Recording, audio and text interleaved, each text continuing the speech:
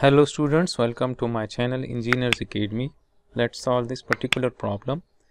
In this problem it is said that the forklift area of the machine of problem 498 is shown with additional dimensional detail. Determine the force in the single hydraulic cylinder CD. The mass of the cube of bricks is 2000 kg with mass center at G2. You may neglect the effects of the weight of the forklift components, right? Now to solve this problem we will consider uh, this this uh, part of this assembly for equilibrium right? So let me isolate that free as a free body diagram right? So we will consider this as a free body diagram right? So as we can see that the weight of the bricks will be acting at this g2 right? So we will have that weight which will be acting somewhere here right? And that weight will be equal to 2000 times 9.81 so if we multiply this so this will be equal to 1962 newtons. And if we divide it by 1000 right this will be 19620 newtons.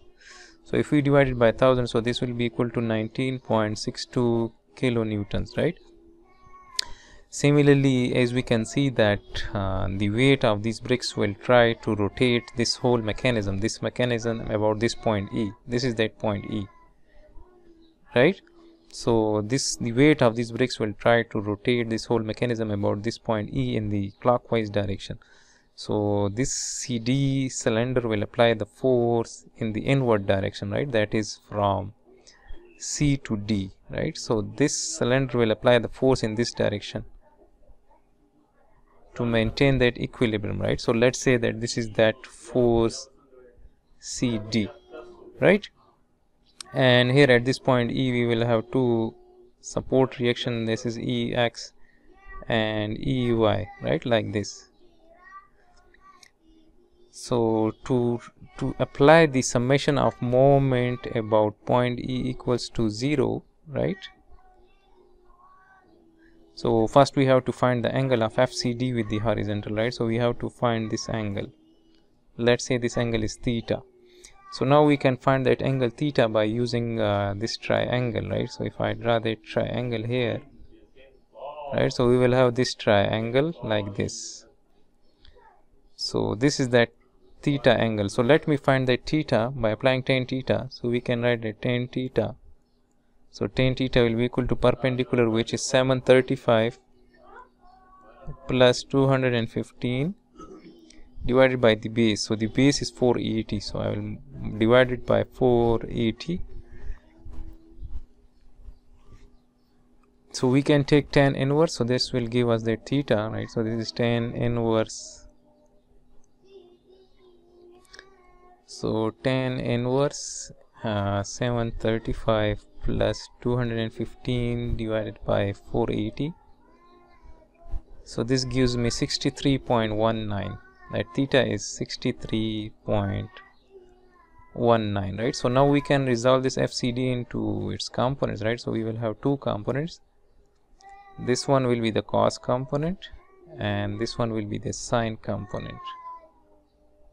Like this right so now if we apply the summation of moment about point E equals to 0 and if we assume that the counterclockwise moment is positive so as we can see that uh, this cos component is producing the counterclockwise moment about that point E and this one is the cos component right? This is FCD cos of theta. So we can write that this is plus FCD cos of theta and theta is 63.19 and the perpendicular distance of this cos component from the point E will be this distance. This is 215 so I will multiply this with 215 let me represent those uh, cos component here as well right? So this is that cos component. And here we will have that sine component. Let me represent that right so as we can see that this sine component is also producing the moment about this point E in the counterclockwise direction. So I will write plus FCD sine of 63.19 and the perpendicular distance of this sine component from this point E is this very small distance this 35 mm. So I will multiply this with 35 and similarly this weight is also producing the clockwise moment about the point E so I will write minus 19.62 and the perpendicular distance of this weight from the point E is this distance. This is 835 so I will multiply this with 835 and this will be equal to 0 so we can simplify this. We can take FCD common from both of uh, these terms right? So we will have 215 cos of 63.19 plus 35 sine of 63.19 and we can write this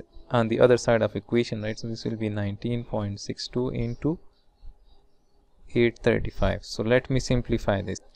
So now we have this equation and we will be able to find this FCD by dividing this term on 128.21 right? So we can write it as 16383 divided by 128.21 so this is equal to 127.78 kilonewton. 127.78 kilonewton right? So this is 127.78 kilonewton force.